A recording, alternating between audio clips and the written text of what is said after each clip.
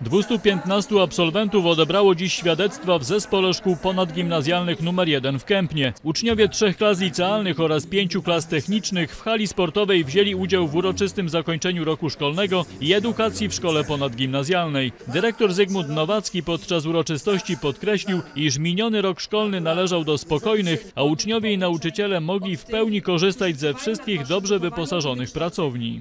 I co najważniejsze, w tym roku była praca bez zakłóceń, pracami budowlanymi w ramach termomodernizacji, co było.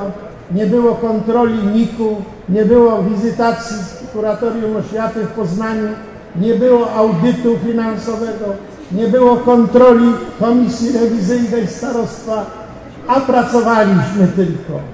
W swoim wystąpieniu dyrektor życzył młodzieży najlepszych wyników podczas zbliżających się matur.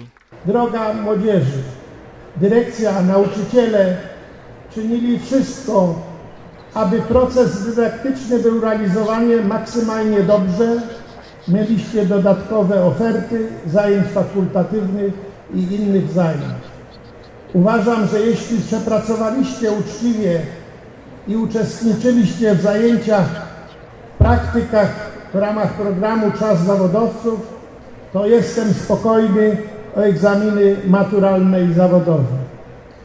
Liczę na Was, że nie zawiedziecie szkoły.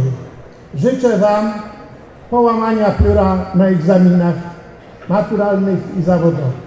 W ciepłych słowach do absolwentów zwróciła się również obecna na uroczystości Grażyna Jany, wicestarosta kępiński. egzamin matury, egzaminy zawodowe.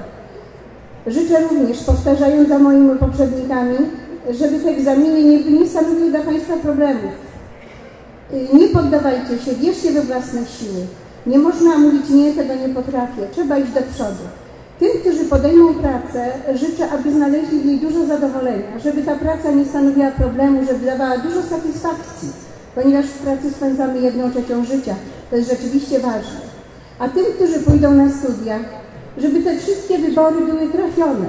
A jeżeli nie, to szybciutko zmieniać. Jesteście młodzi i nie ma po potrzeby ciągnąć tego, z czego się nie ma zadowolenia.